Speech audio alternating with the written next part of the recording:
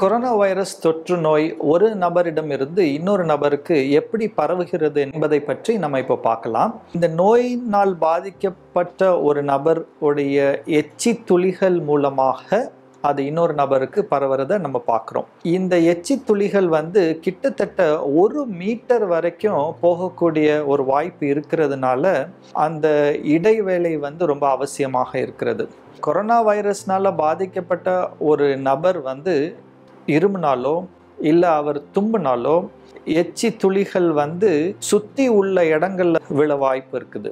வெளியே விழுந்த இந்த எச்சி துளிகளில் இருக்கக்கூடிய இந்த வைரஸ் வந்து கிட்டத்தட்ட மூணு மணி நேரம் வரைக்கும் செயல் இழக்காம இருக்கும் அப்படின்னு ஆராய்ச்சி நமக்கு சொல்லுது.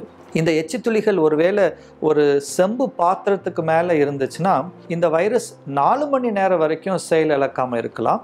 கார்ட்போர்ட் மேலே விழுந்துச்சுன்னா அதில் இருக்கக்கூடிய எச்சித்துளிகளுக்குள்ளே இருக்கக்கூடிய இந்த வைரஸ் வந்து இருபத்தி நாலு மணி நேரம் வரைக்கும் செயல் இழக்காமல் இருக்கும்.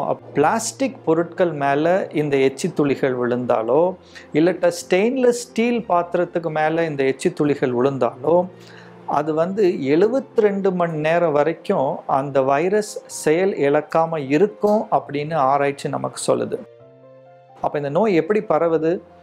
பாதிக்கப்பட்ட நபருடைய எச்சித்துளிகள் எச்சி துளிகள் இந்த எச்சி துளிகள் சுற்றி இருக்கக்கூடிய எந்த பொருளில் இருந்தாலும் அந்த பொருளை நம்ம தொட்ட பிறகு நம்ம வாயிலையோ கண்லேயோ மூக்கில் நம்ம தொடும்போது இது மூலமாக இந்த வைரஸ் நம்ம உடம்புக்குள்ளே போகிறதுக்கு வாய்ப்பு இருக்குது அப்படின்னு ஆராய்ச்சி நமக்கு சொல்லுது.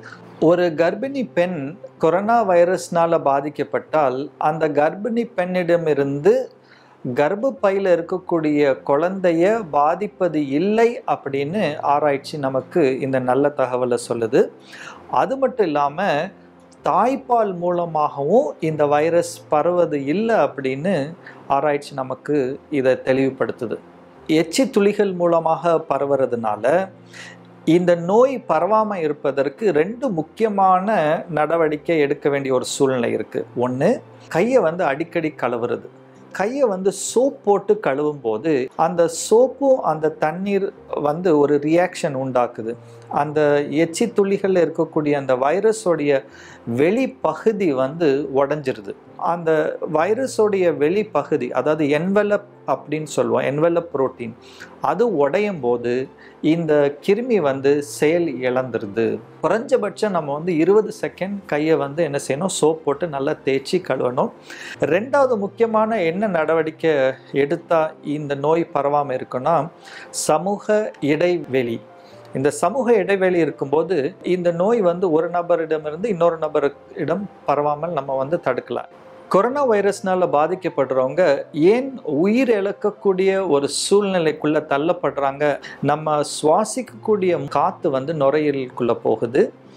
அந்த போன காற்றுல தான் ஆக்சிஜன் இருக்கு. அந்த ஆக்சிஜன் வந்து நுரையீரலில் தான் ரத்தத்துக்குள்ளே கலக்குது.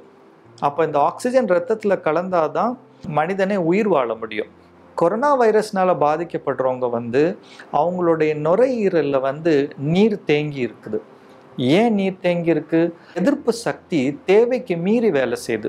எதிர்ப்பு சக்தினால சைட்டோகேன் அப்படின்னு ஒரு புரத சத்து வந்து சுரக்கப்படுது.